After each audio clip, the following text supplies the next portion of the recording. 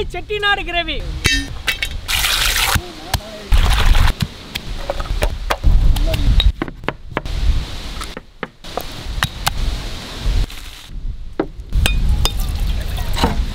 சின்ன சின்னதாக மேலே கீறி விட்டுக்கலாம். கால் ஸ்பூன் சோம்பு கால் ஸ்பூன் ஜீரகம் ஒரு அஞ்சு கிராம்பு. தலைக்கு போடலாம் நல்லா ரோஸ்ட் ஆகணும்.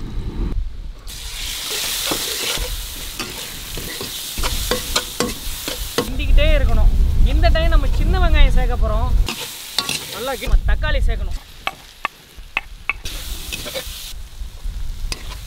நல்லா அப்படியே உருண்டு திரண்டு வந்துருச்சு